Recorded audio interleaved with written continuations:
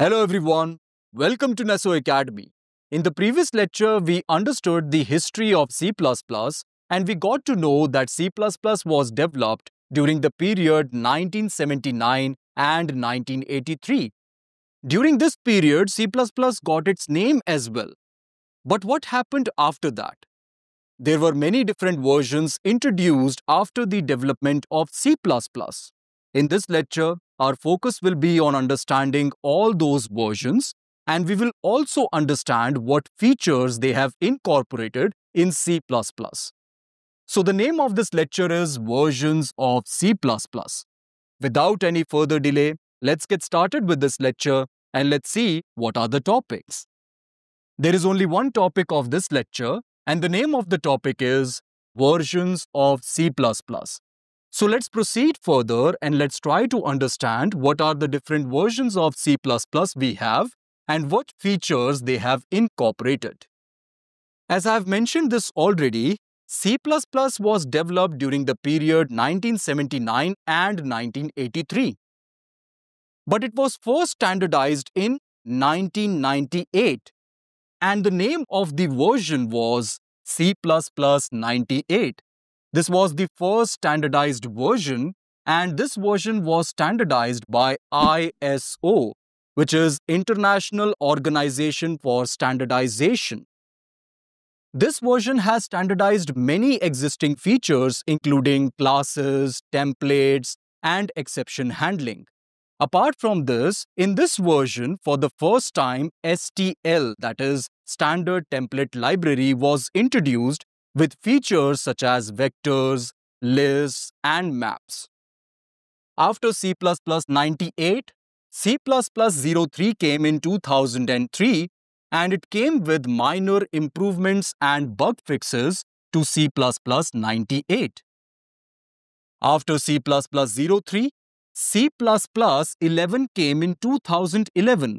This means after many years when C++ 03 was introduced, C++ 11 came, and it was also known as modern C++. It was known as modern C++ because it has introduced many modern features such as auto keyword, lambda expressions, and not only this, range-based for loops. After C++ 11, C++ 14 came in 2014 and it was considered as the small extension to C++ because it has introduced some small updates to C++ such as generic lambdas, return type deductions from normal functions, etc. After C++ 14, C++ 17 came in 2017 and it has improved the performance and usability of C++. This specific version has introduced many features which has improved performance and usability of C++, such as structured bindings and parallel algorithms. After C++ 17, C++ 20 came in 2020 and this was considered as the biggest update after C++ 11. Why it was considered the biggest update?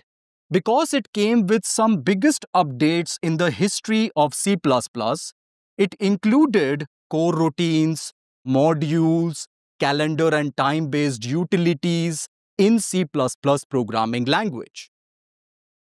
After C++ 20, C++ 23 came in 2023 and it came with minor improvements to ranges, lambdas, and standard libraries. So these are all the versions of C++ that have been introduced so far. And right now, in this course, we will focus on C++ 17. By focusing on C++ 17, I mean that we will cover the older versions, that is, we will cover the features of the older versions. Along with this, we will also cover some of the features of C++ 17.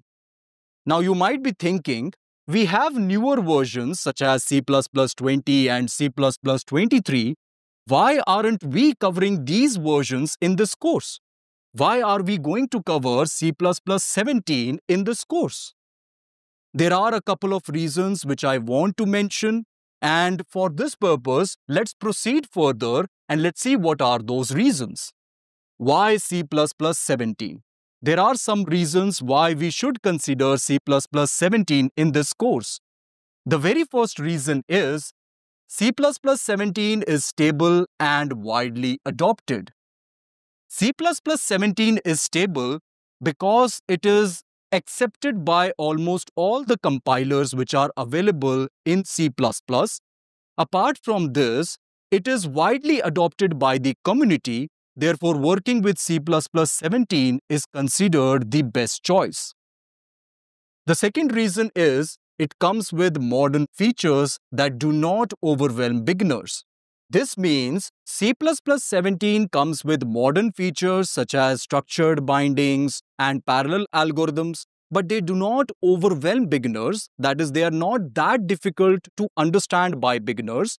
Hence, we are considering C++ 17 because it has those features which are considered better for beginners to understand compared to the features which are introduced in C++20 and C++23. The third reason is C++20 and 23 are great, but not entry level. C++20 and C++23 are considered great. They have many features which are needed in the modern world, but they are not good for beginners. As beginners, we must start C++ with ease, and C++17 will let us do that.